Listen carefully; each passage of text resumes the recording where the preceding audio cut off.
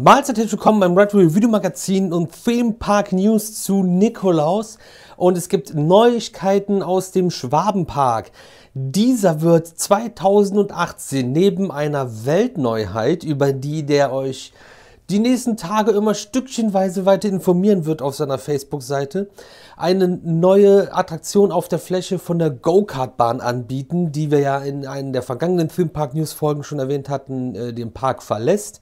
Und zwar anno 1950. Und das Ganze ist eine Autofahrt von Metall Metallbau Kirschner. Und auf 280 Metern Strecke gibt es dann insgesamt acht Fahrzeuge mit einer Spitzengeschwindigkeit von maximal 7 km/h, die selbst gesteuert werden können. Einmal kann man selber Gas geben. Das Besondere dabei ist, falls mal die Kinder vergessen sollten, das Gaspedal zu treten, weil vor lauter Aufregung und Fahren und die Wagen stehen bleiben, nach einer gewissen Zeit fahren die dann automatisch weiter und die Wagen sind frei lenkbar. Es ist zwar schienengeführt, trotzdem kann man nach links und nach rechts lenken, so wie man es gerne hätte.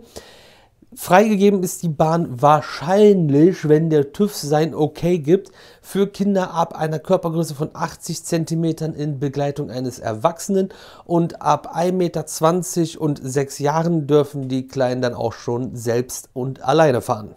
Finde ich auf jeden Fall eine sehr coole Neuheit für den Bereich der Go-Kart-Bahnen und ich liebe diesen 50-Style, bin sehr gespannt, wie das gestaltet wird. Und noch viel spannender ist natürlich die Weltneuheit, die dann demnächst angekündigt wird.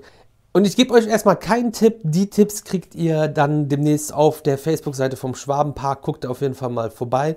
Und ich wünsche euch jetzt noch einen schönen Nikolaustag und viel Spaß weiterhin hier auf unserem Kanal, den ihr jetzt abonnieren solltet, um nichts dazu verpassen. Denn auch über die Weltneuheit werden wir euch natürlich hier informieren. Ich bin jetzt raus. Ihr seid die coolsten. Euer Bro für Thread Review Videomagazin.